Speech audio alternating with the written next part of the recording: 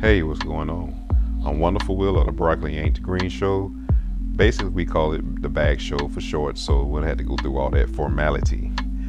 But anyway, we hope you had a great week. I just briefly want to talk to you about a situation where uh, one of my Facebook friends posted a video through his Facebook Instant Messenger, and had and it was about this young couple young black couple from Arlington, Texas. And she was explaining about an experience, a bad experience she had at Walmart. And it's not particular with the store or management, anything like that. You know, basically she was doing her, her, you know, how you just do your little routine shopping at Walmart and getting you some items, you know, miscellaneous things. And all of a sudden this strange woman approached her, started trying to talk to her, engage in, in a conversation with her you know, they start talking about religion, how, you know, God is good and, you know, He gonna bless you and all types of things like that, which is fine. And eventually the lady started asking her a lot of questions and then she offered her a card and she asked the woman, could you smell the card? And that's some, I guess that was kind of like a red flag that set her off. And then she's like, no, thank you. You know, I'm good. And can you I just want to continue doing what I'm doing. And the lady was almost wouldn't let her leave.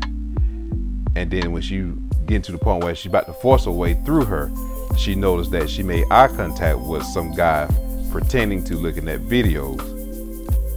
And she noticed him when they first started talking. And then next thing you know, they started communicating with each other. And then that's when I guess her sixth sense started kicking in. She like, I gotta go. And then next thing you know, she noticed another guy from the other side. I guess she didn't see him from a blind side. Then all of them started kind of engaging and talking with each other. And they were talking using their cell phones. So I know I would have got the hell on too if I was her. And then she was trying to maneuver around them. They just kept following her. I mean, they followed her throughout that whole story until she was able to get in touch with uh, the management and they got their store security involved and they was able to help her and then they got into her car. But they just want to share that story with with uh, everybody because this could be really these things like this it actually happens. It does. That's why you have to be well these for women and young teenage girls have to be careful out there. And i'm not trying to start some type of panic panic mode thing but I just want you to be aware of what's going on and be aware of your surroundings.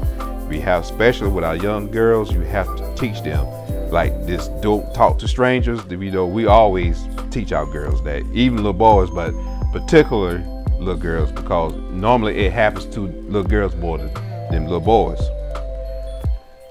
But I just want to just pinpoint that to you all. Talk to your children don't if there's somebody like an adult try to engage in conversation uh, conversation with you and and that conversation make you feel kind of weird there's nothing wrong with that there's nothing wrong just keep going do not make eye contact you just keep going. If they just uh, being totally persistent and trying to have a conversation with you you know what if you feel like you have to run i'll do that too because don't worry about people thinking you if you're crazy or not I rather I I don't I can get over that, but I just want you to just just really pay attention to that. As women, I don't really have to tell you this, but you know, but sometimes we have to be reminded of some things too, as adults. But women, like when you go into clubs, you should really go with some friends, with some friends, and and if you decide to go by yourself, which is nothing wrong with that, just you know use good common sense. Like your drink goes everywhere you go. Do not leave your drink unattended because you got some perverted bastards out there who will like who probably try to slip something into your drink and next thing you know you've been violated or you've even been kidnapped. But that's all I want to talk to you about, and I'm not gonna hold you too long, but just something that should really make you think. There's nothing wrong with reporting things like this don't like I said, if people think you crazy, then then so be it. They'll get over and you'll get over. But the main thing is you go home safely and you remain safe. But I, like I said, I'm not going to hold you up, but I just want to make you think. And y'all have a great, great uh, weekend. Have a great life. And always remember God is love and love is God. And we love you. Peace.